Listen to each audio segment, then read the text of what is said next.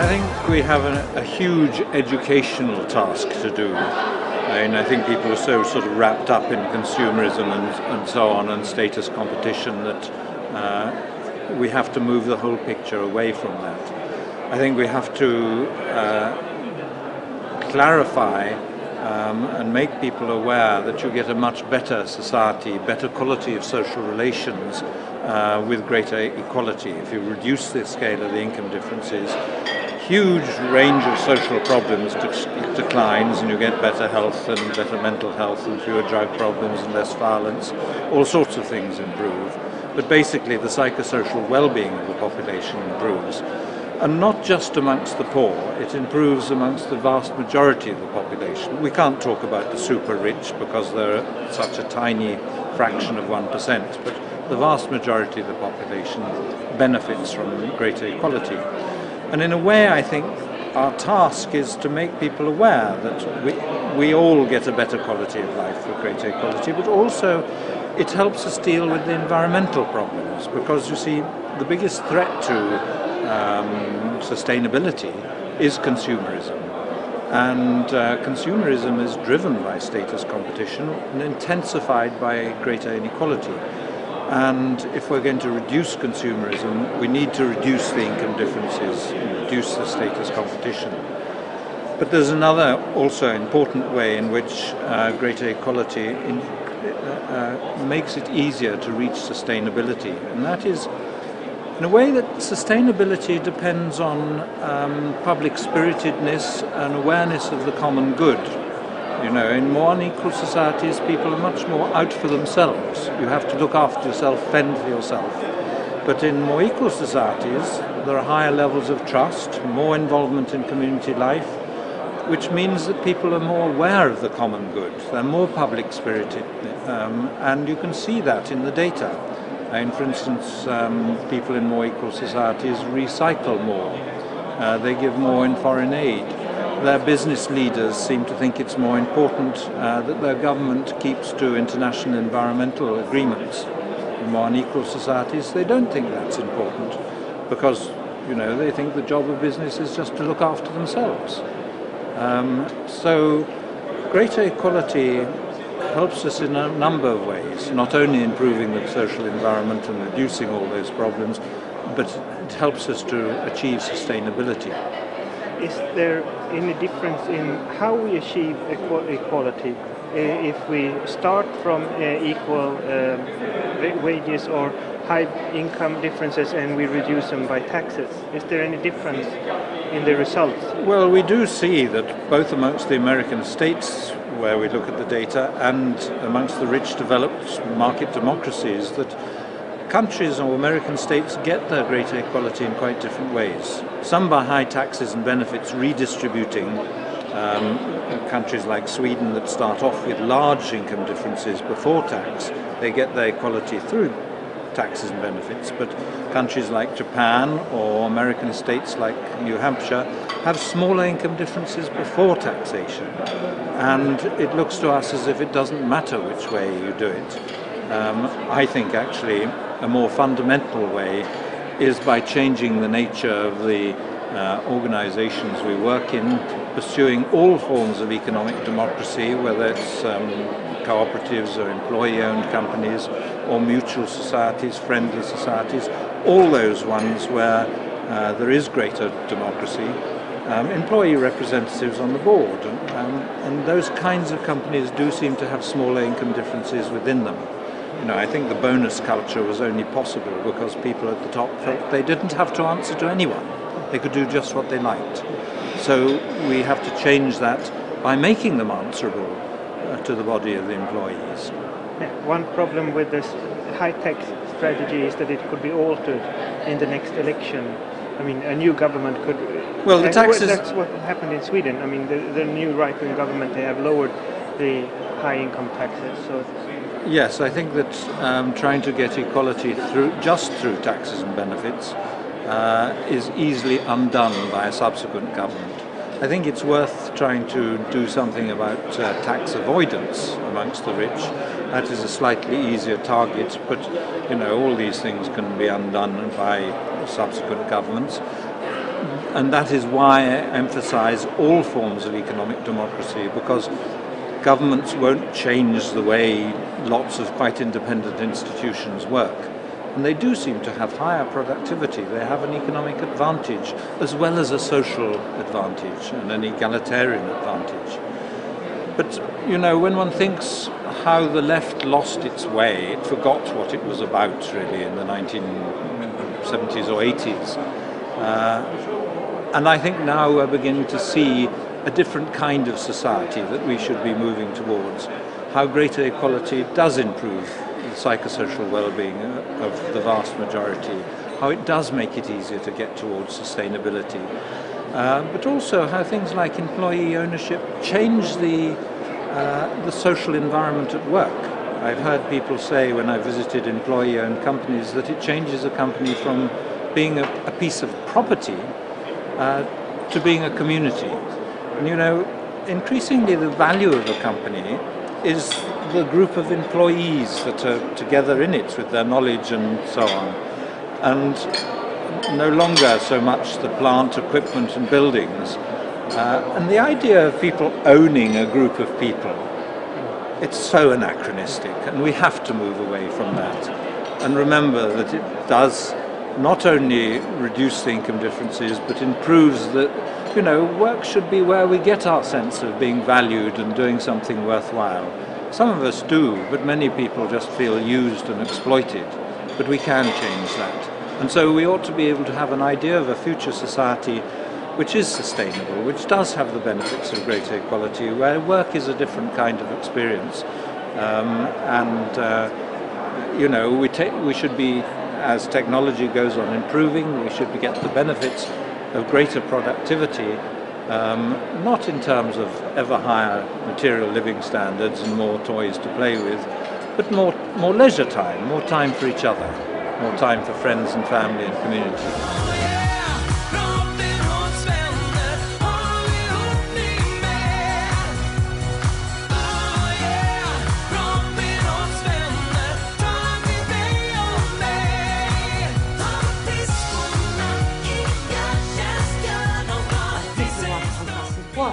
Seminarium. Jag hade stora förväntningar på seminariet eftersom jag tycker att boken Jämlikhets, äh, Jämlikhetstanken är väldigt bra. Att vi äntligen alltså, ser sambanden mellan ett samhälle som dras i tur, hur negativt det är för alla dess medborgare och se att det finns en politisk möjlighet att ha ett samhälle där man visar att jämlikheten är det viktigaste för alla medborgarna. Det tycker jag var en fantastisk eh, och vi fick en väldigt bra beskrivning av varför det jämlika samhället är ett bra samhälle för alla dess medborgare. Att vi från vänstern verkligen har en vision om hur man kan förverkliga det samhälle som vi jobbar för. kommer du att få någon nytta här i det parlamentariska arbetet här i Bryssel? Ja, jag är övertygad om det, att man ofta nu i den politiska debatten, redan i Strasbourg ska vi diskutera någonting som kallas för EU 2020-strategin. Som kommissionen och rådet eh, har lagt förslag om hur vi ska öka tillväxten, öka konkurrenskraften, underlätta för företagarna. Alltså, som går precis i motsatt riktning, att istället öka klyftorna ytterligare i samhället. Och det är självklart att i en sån debatt är det väldigt viktigt att kunna visa de här forskningsresultaten. Att det finns belägg för att det inte är den politiken som bygger ett bättre samhälle. Har ni fått någon respons från andra partigrupper som socialdemokratiska gruppen? Ja, vi hade ju socialdemokratiska ledamöter som eh, kom in och lyssnade en stund idag. Så att det finns ett intresse även från andra Eh, partigrupper den socialdemokratiska. Den gröna gruppen var representerad också idag i parlamentet och lyssna. Och det visar att det bör, börjar i alla fall finnas intresse att se möjligheterna till andra politiska vägar än den som är den gängse på dagordningen idag. Jag tror att det går lättare att nå den gröna gruppen nu med alltså, krav på sociala rätt, social rättvisa sambandet mellan miljöförstöring och orättvisor är så kartlagt. Ja, jag tror, det är det jag har stora förhoppningar till, att det blir lättare. För att man då eh, tydliggör sambanden. Så att um, det borde, jag, jag har stora förhoppningar om att det ska underlätta att vi blir fler än vänstergruppen. Att vi kan få fler socialdemokrater att stödja våra ändringsförslag och rapporter. Fler från den gröna gruppen som ser sambandet med kampen mot klimatförändringarna och det jämlika samhället. Alltså sambanden däremellan. Jag tyckte eh, seminariet var väldigt bra, väldigt inspirerande. Jag får den här lite självbekräftelsen. Det här att vi har rätt intuition, eller vad man ska kalla det. Att vi, de känslorna som vi har haft och varför vi gör den här politiken, eller vår vänsterpolitik, att den, den är rätt. Att vi är på rätt spår och ja, att det, det känns bra. Eh, jag tyckte det var jätteintressant. Jag tror att de här delarna som Wilkinson pratar om, om eh, eh, hur det känns att springa i ett ekorrhjul, att konkurrera med andra människor, eh, hur vi liksom snarare än att bygga vänskapsrelationer och solidariska relationer bygger eh, någon sorts statusjakt där man hela tiden ska vara bättre än sin granne hur det skapar en stress hos oss och hur det påverkar oss alla, även de som har det sämst i samhället. Eh, om vi i Vänsterpartiet kan börja tala mer till den, de känslorna och beskriva hur det känns och sen knyta det till systemkritiken så tror jag att vi kan komma långt. Så jag, jag tyckte det var väldigt inspirerande utifrån hur vi kan kommunicera vår politik. Det är en väldigt bra ögonöppnare som många behöver se. Eh, jag tycker att eh, hans genomgång, eh, det muntliga efterhand efter att ha läst boken så tyckte jag att man fick en mycket tydligare bild av vad han faktiskt menade. Även om boken är väldigt välarbetad så, så tror jag, jag tror många fler behöver se det så. Helt klart. Eh, sen tycker jag också att, att, han väcker vissa intressanta frågeställningar. Ja. Till exempel hur, för jag menar vi är nog ganska överens i Vänsterpartiet att vi vill utjämna klyftor. Men det, har liksom, det är ganska odiskuterat att, att det ska vara genom skatter hur kan man jobba för att få ut jämna klyftor genom, genom minskade löneskillnader från början? Det är ju en jätteintressant frågeställning. Ja. Eh, också det här som man pratar om att ha en skatt på konsumtion istället för en skatt på inkomst. Det känns som någonting som vi kanske inte riktigt har, eller jag har inte tänkt i de banorna innan i alla fall. Ja. Så det, det vill jag gärna fundera mer på och se för och motargument och så. Jag tycker att det var fantastiskt bra och eh, Wilkinson är väldigt duktig föreläsare. Han vet hur man använder, hur man gör en väldigt bra presentation. Både med personligt engagemang och, och eh, diagrambilder. Och det är ju slående hur, eh, hur tydligt man kan visa att ju, mer, ju mindre ojämlikt ett samhälle är, desto bättre för alla medborgare i det samhället. Och själv bor jag ju på Irland som ju redan från början, kan man säga, är ett väldigt ojämlikt samhälle och när jag flyttade till Irland för fem år sedan så slogs jag av, även om jag visste att det skulle vara stora jämlikheter, att det, det är skakande stundtals att gå i Dublin inner city och se hur fattigt många människor lever och har levt för generationer. Och jag ställde en fråga där till Wilkinson för man ser nu inför det irländska valet efter att den keltiska tigern har fallit samman eh, krisen har varit extremt djup och den fortsätter och den kommer bara bli djupare. Att visst väljer en del människor vänstern, Labour, Sinn Féin, olika små vänsterpartier.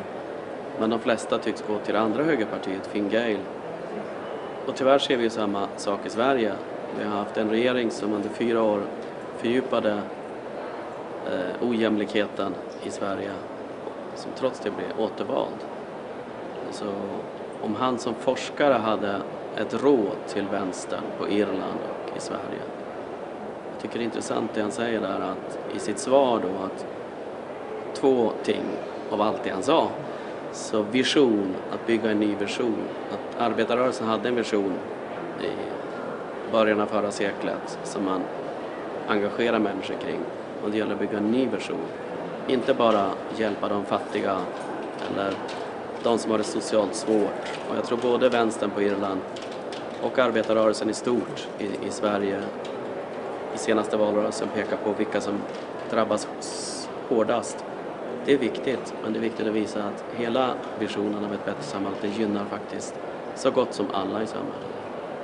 Att bygga en ny demokratisk socialistisk vision i den tid vi lever i nu. Och det andra han sa var utbilda, educate. Och det var också en annan del i arbetarrörelsens barndom. Alltså massiva utbildningsinsatser av fackföreningsmedlemmar, av arbetarrörelsens partiers medlemmar. Eh, mer kunskap, bättre argument. Ja, nu tror jag utvecklar hans, hans svar en aning där, men jag ser det mer politiskt kanske än, än som forskare. Och, och, jag tror att det är två viktiga ord eh, i vad vi måste göra. Utbilda och bygg en modern vision som kan engagera människor. Men det är väl alldeles utmärkt att du utvecklar det. Kan du utveckla ännu mer dina politiska tankar? Alltså hur kan du ta med det här i ditt politiska arbete framöver? Och vad, tror du är viktigt, vad tror du är viktigt för vänstern framöver i Sverige och kanske på Irland? Jag, jag tror, om vi går tillbaka till början, så tror jag att det, att, att i utbildas så handlar om att ge folk instrument för att förstå verkligheten. Och det finns massor av människor på Irland och i Sverige som söker sig till olika vänsterorganisationer idag eller till arbetarrörelsen, fackföreningsrörelsen. För man vill eh, protestera, man vill organisera. Men man måste få verktygen att, att göra det. Och om jag tittar tillbaka med självkritik på 70-talet när jag kom med i, i, i, eh, inom vänstern så hade vi väldigt mycket utbildningar och man fick marxistiska verktyg som idag kanske kan ses, en del av vår utbildning var lite fyrkantig och, och dogmatisk om man ser det med dagens ögon. Men trots allt så gavs man verktyg som att, att förstå verkligheten och jag, jag, tror vi måste gå tillbaka till att, att eh, satsa mer på studier med engagerande, interaktiva, modernt sätt att studera. Och, och i Vänsterpartiet handlar det om, om, vuxna människor som har egna erfarenheter och vars erfarenhet kan vara en del i utbildningen, att man utbyter erfarenheter. Och på det sättet så, så och att naturligtvis partiet med till exempel utbilda mer kursledare som tillför ytterligare något så kan man bygga ett, ett eh, större kunskaper. För att om man inte har kunskaperna då kommer den där eh, vredan man har mot högern i Sverige eller mot högern på Irland, den faller undan efter ett tag. Men om man har större kunskaper och verktyg då ser man att det är ett långsiktigt projekt som man är engagerad sig i. Sen tror jag att organisera är också jätteviktigt. Jag jobbar inom facket, LO Irland och deltar i organisering av internationellt solidaritetsarbete som vi faktiskt har tid med trots krisens allvar. Och systematiskt, medvetet, steg för steg bygga upp organisation och viktiga personer som sitter på nyckelposter i den organisationen. Det, det är ABC i att bygga god aktivitet. Och det tror jag också vi skulle kunna göra bättre inom vänstern både i Sverige och, och, och på Irland. Sen visionen, den måste man skapa tillsammans och eh, det ställdes ju också en fråga om klimat och jag tror att, att det tillhör det här att skapa större förståelse för en, en ny vision, alltså klimaträttvisa. Jag, jag tror att klass, kön, klimat, 3K, det, är, det måste finnas med i den visionen. Alltså. Uh, jämlikhet klassmässigt, jämlikhet man, kvinna och jämlikhet vad gäller klimat. För klimatfrågan är ju väldigt mycket klassdimensioner. Och den visar också hur imperialismen fungerar idag, nord-syd. Så, så jag tror att där finns också en av nycklarna till att skapa en, en vision av vad vi vill. Ja, det var väldigt bra. Det var väldigt bra. Han eh, påpekade ju saker som man aldrig tidigare kanske tänkt på riktigt. Som det här att, eh, att man har kompisar kan spela roll för hur man mår. Eh, både psykiskt och fysiskt kanske. Eh, och det är att just att man bor i ett ojämställt samhälle eller ojämlikt samhälle kan ha effekt på eh, även våldet och barnfattigdomen och att man kanske blir gravid som tonåring och massa sådana här faktorer som man inte tänkt på är kopplade till just jämlikheten. Och att, ja, att de rika blir bara ännu rikare och att de fattiga blir ännu fattigare och att man kunde se det väldigt bra på diagrammen som man visade då och hur mycket mer rikare de är än de fattiga. Vad är det du kommer att ta med dig själv i ditt politiska arbete eller ditt arbete? Alltså det mesta. Jag tror att jag ska ju själv köpa boken så att jag kan ta med det tillbaka till mitt parti eller till mitt ungdomsparti då och sen så ska jag försöka få in det så mycket som möjligt i valarbetet eh, fyra år. Så jag tänker att det som sa där det är någonting som verkligen kan tas till. Alltså jag tror att det är något man måste utnyttja väldigt mycket mer. För det är något som jag tror att väldigt många kan ta till sig. Både rika och fattiga och medelklassen. Och det är det man behöver. För att oftast är det ju så att jämlikhet och jämställdhet är någonting som är, är till för eh, de fattiga och för de som inte har det så bra. Men det är ju faktiskt så att även de rika och medelklassen skulle tjäna väldigt mycket på det. Välfärdssamhället skulle tjäna på det, ha ett jämställt och jämlikt land. Det är mina känslor fast på papper. Ett, två, tre Du kanske borde hänga med du med I första klass Saint-Tropez Sen kommer verkligheten fatta med